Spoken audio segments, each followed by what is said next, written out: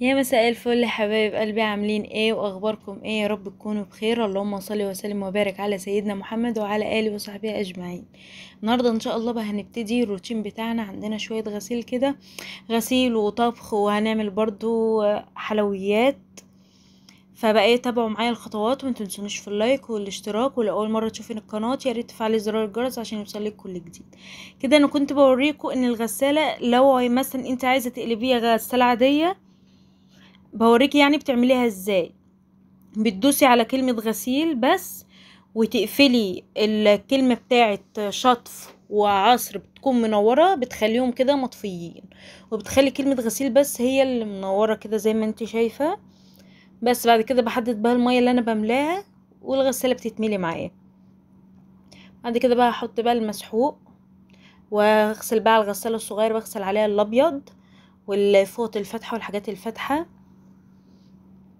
وفي الآخر بقى خالص بقى بجمع بقى اللي هي إيه فوط المطبخ وكده يعني. بصراحة بينضفوا جامد عشان خاطر الكلور.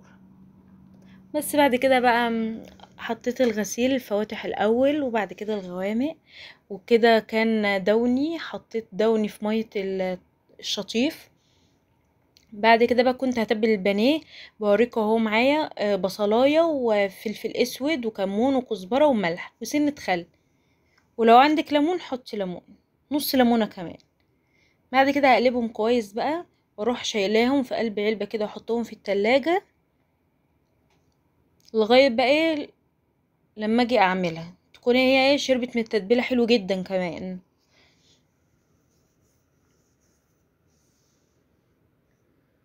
أنا بصور لكم والله كل ده وكان عندي يوم يعني بص يوم بغسيل وتوضيب وتنظيف وكده يعني. بعد بقى ما طلعت الهدوم زي ما أنتوا شايفين كده رحت حاطة بقى أفتح ملاية عندي. وبعد الملاية الفاتحة حطيت الملاية البامبا اللي أنتوا شايفينها دي.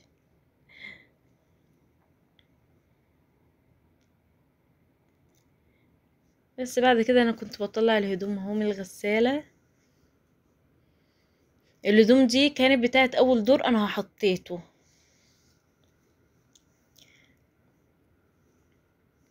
بس بعد كده بقى بنشجع بعضينا. يعني مثلا لو وراكي أي حاجة تقومي تعمليها فانتي إيه بتتشجعي بالحاجات دي؟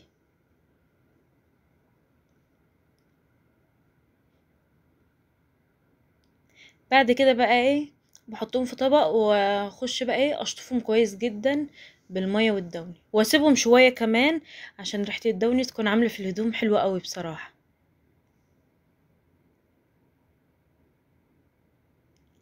بعد كده بقى كنت هعمل كشري أول حاجة عملتها نقعت العدس بجبة في مية سخنة وعلى جنب لأن أنا من ساعة ما جربت كشري الحلة الواحدة وأنا بصراحة على طول دلوقتي بعمل الكشري في الحلة الواحدة بصراحة.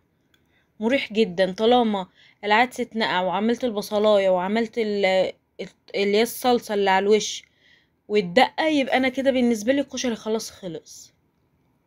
بعد كده بقى بعمل البصل أهو بصراحة إحنا بنحب البصل كتير جدا. عملت كده أربع بصلات حلوين كده أفرمهم في الكبة فرمة واحدة بس عشان أنا مش عايزاهم ناعمين معايا.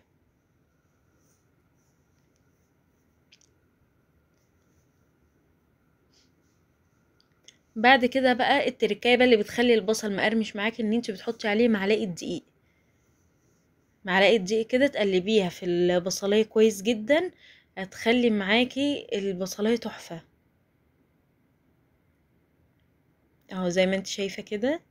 بعد كده بقى هجهز الزيت وأروح نازلة بالبصل على طول.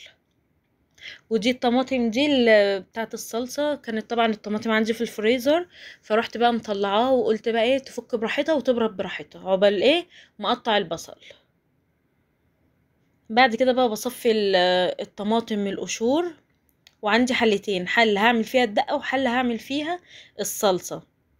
الحلة اللي هعمل فيها الدقة حبة توم كده على حسب برضو ما انت عايزة عشان في ناس ما بتحبش توم كتير. يعني أنا عن نفسي حطيت معلقة كبيرة توم بعد كده بشوية كمون وشوية فلفل أسود وشوية ملح وكوباية خل وكوبايتين مية. بس هي دي الدقة بس.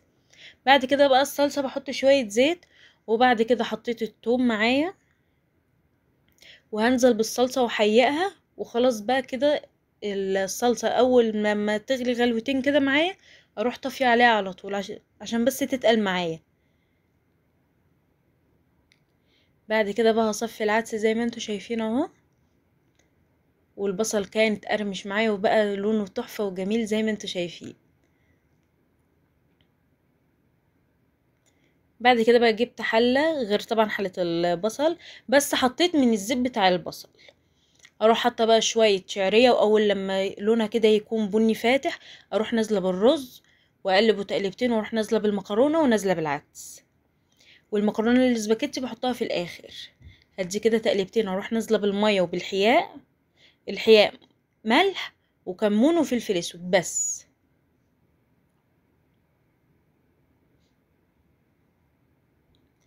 أو ملح وكمون والفلفل الأسود في الآخر. واقلبها وأروح حاطه المكرونه الاسباجيتي على الوش.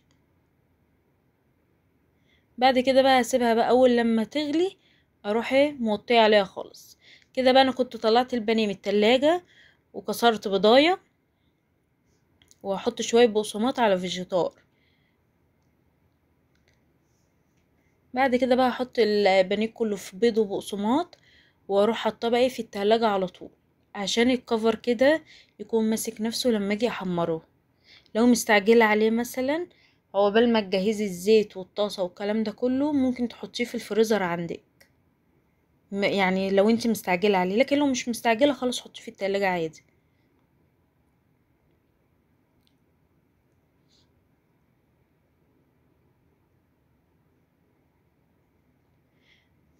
أنا على طول لما بجيب مثلا البقسماط أو الفيجيتار ده أنا بجيب بقسماط وبجيب البقسماط اللي هو الكريسبي وبجيب فيجيتار وبخلطهم على بعض وأروح حطاهم بقى في قلب العلبه اللي هي بتاعت اللي أنا شلتها بتاعت البقسماط.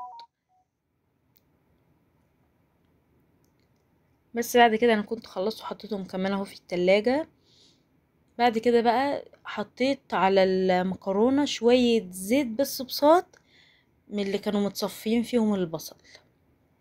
بتخلي بصراحة طعم الكشري حلو جدا ما شاء الله. بعد كده بقى أنا خلاص خلصت اهو على الغري.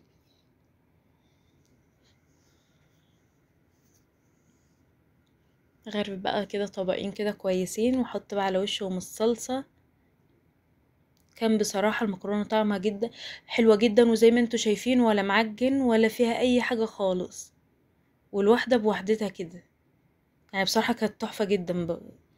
جربوها يعني لما كنت بعملها الأول كنت بسلق المكرونة لوحديها وكنت بعمل الرز والشعرية لوحدي وكنت بعمل العدس لوحدي يعني كانت دبكة بصراحة بس بعد كده حطيت الصلصة اهو أحط بقى البصل على الوش وأحط برضو صلصة في قلب ال في قلب الاطباق برضو وادي البانيه أهو بس بعد كده بقى كده الأكل أهو خلص معانا والغدا خلص معانا. عايزين بقى بعد ما اتغدينا كمان قلنا إيه نعمل حاجة حلوة. أول بقى رحت حاطة حلة فيها شوية مية وحطاهم على النار وأول لما غليت معايا نزلت بنص كوباية رز. مغسولة طبعا ومنقوعة شوية وبعد كده نزلت بالسكر ونزلت بكيلو من اللبن. وفضلت أقلب وأول لما اللبن كان داخل على الغليان اكون مدوبة معايا معلقتين كبار نشا أو تلاتة في شوية مية بصوت. وأول بقى لما يقلب معايا زي ما أنتوا شايفين كده أروح بقى طفيه عليه وغرفاه على طول. يعني بصوا ما خدتش وقت خالص. أول مرة ما أخدش وقت كده في الحلو. أسهل حاجة بصراحة يعني أنا كنت عاملاها. بعد كده بقى إيه هسيبهم بقى بره كده على الرخامة زي ما أنتوا شايفين لغاية إيه أما البخار بتاع الرز بلبن يهدى والرز بلبن يبرد شوية عشان بس خاطر التلاجة وأروح بعد كده رصاهم على طول في قلب التلاجة. أهو زي ما أنتوا شايفين كده. كده كان هادي خالص وكنت لسه إيه هرصه في قلب التلاجة.